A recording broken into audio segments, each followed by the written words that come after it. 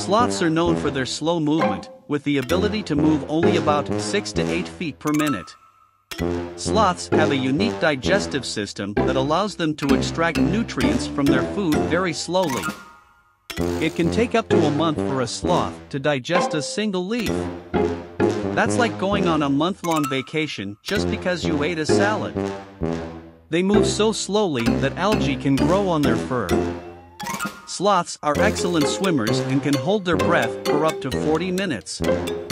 Sloths are like the ultimate couch potatoes, surviving on a low calorie diet of leaves and spending most of their day lounging around in trees.